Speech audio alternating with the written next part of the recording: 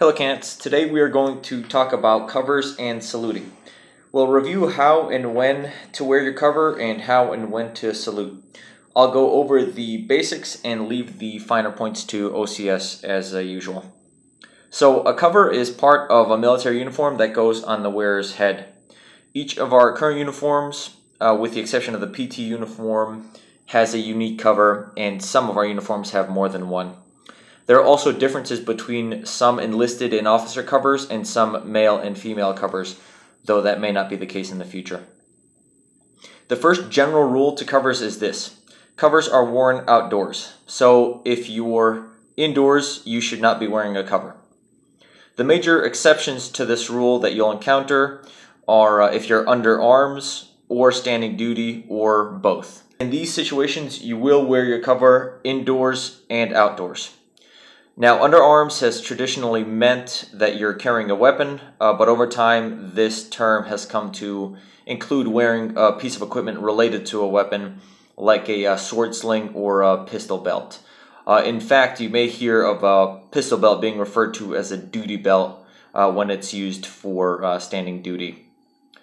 Another exception for wearing covers is eating. So, when you are eating outdoors, you will take your cover off and if you're eating indoors on duty, you will also take your uh, cover off. There are other smaller exceptions uh, to these rules that you'll learn about and discuss at OCS. Next, I'll walk you through the most common uniforms and their respective covers. So, first up, we've got the Marine Corps Combat Utility uniforms, also known as camis.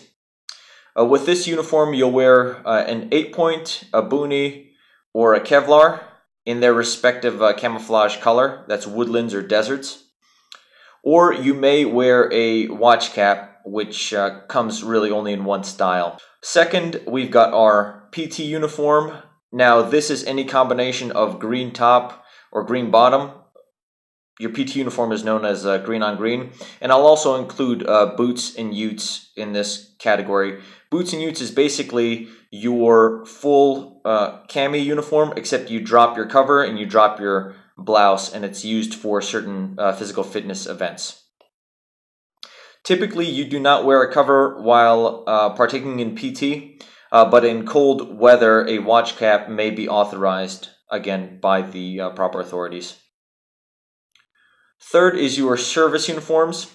Now, the service uniforms uh, come in three editions. The, you've got your alphas, your bravos, and your charlies, uh, also known as chucks, and you'll learn about when to wear each at uh, OCS. They do all use the same cover, though, which is either the garrison cap, uh, colloquially known as the piss cutter, or the barracks cover. These two covers are interchangeable you can wear both with the service alphas. It's really a matter of preference, but you'll find that the garrison cap is much more prevalent. This picture doesn't do the best job of depicting the service uniform variations, but uh, you'll learn more about that at uh, OCS. And finally, we've got uh, our dress blues. Again, the dress blues come in four editions alphas, bravos, charlies, and deltas. You'll learn about those differences at uh, OCS or maybe in a later video that I put together. Uh, but they do all use the same cover, which is the uh, dress blues cover or the white cover. There are some other covers that you might run into. The first is the campaign cover, which is worn by sergeant instructors and drill instructors. And also, uh, you'll see on the range pith covers worn by uh, range coaches.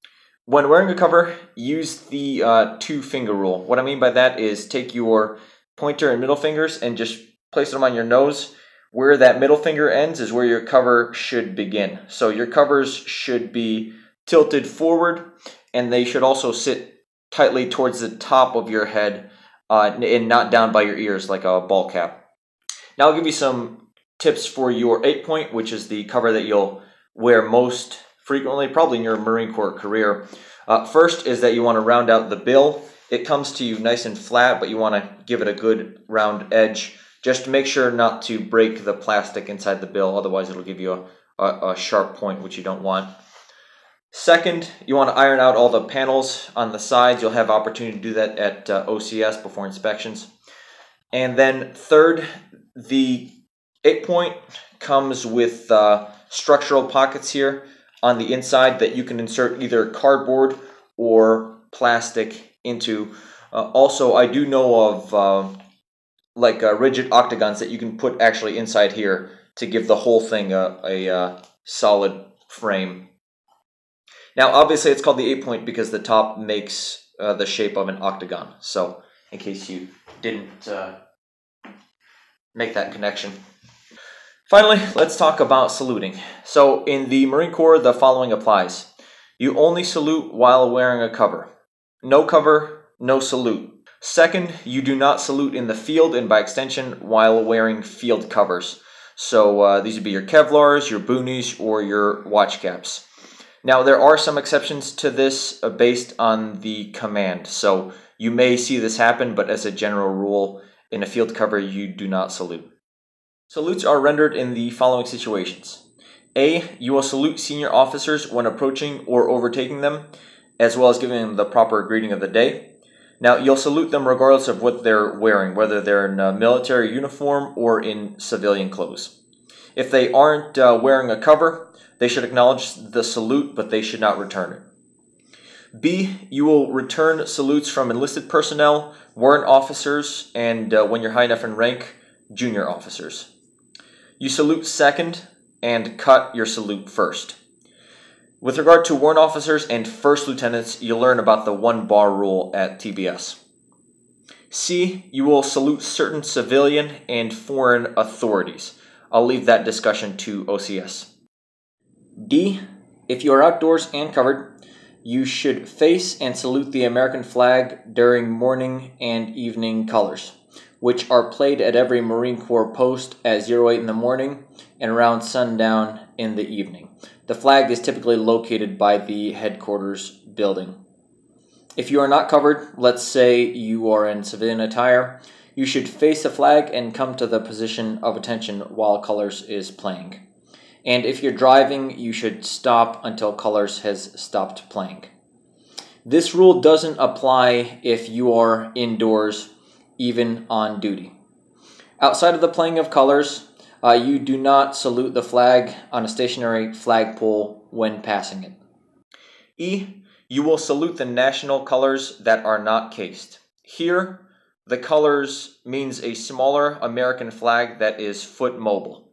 You'll see this most commonly at ceremonies like your graduation. There uh, will be a detachment of Marines uh, carrying the colors called the color guard. For an example of the color guard, see the link in the description box. F, you will salute during the playing of the national anthem. Salutes are not rendered in most other situations, including indoors, unless you are under arms or on duty, in the field, in civilian attire, with the exception of the national anthem, in a formation where you are not the unit leader.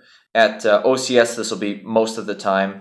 Most of the time, you will not be the unit leader. You'll be in the uh, formation and therefore you will not render any salutes. And lastly, you will not salute when it is impractical to do so, let's say if you're carrying uh, a heavy object with both hands.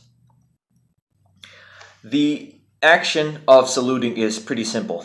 Your arm should be parallel to the deck and your hand should be canted slightly forward.